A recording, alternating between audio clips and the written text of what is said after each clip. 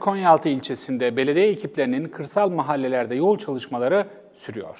Fen İşleri Müdürlüğü ekipleri yaptıkları son çalışmayla 3 mahalleyi dere yatağına yerleştirdikleri beton büzlerle birbirine bağlayacak.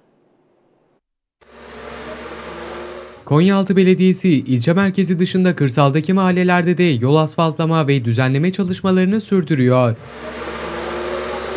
Kış aylarında yaşanan su taşkınları nedeniyle ulaşımın zaman zaman aksadığını ifade eden belediye fen işleri görevlileri dereyle kesintiye uğrayan yol üzerinde beton büz köprü çalışması başlattı.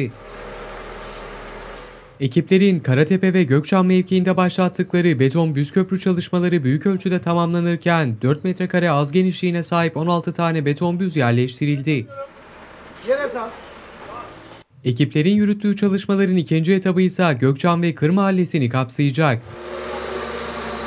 Burada da yine 4 metrekare ağız genişliğine sahip 8 adet beton büz konulacak.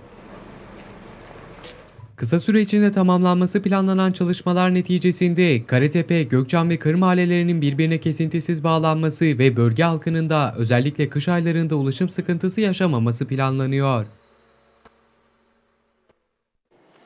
Siz de fark etmişsinizdir. Beton büzler yoldan epey yüksek ama vardır belediyenin bir bildiği diyelim.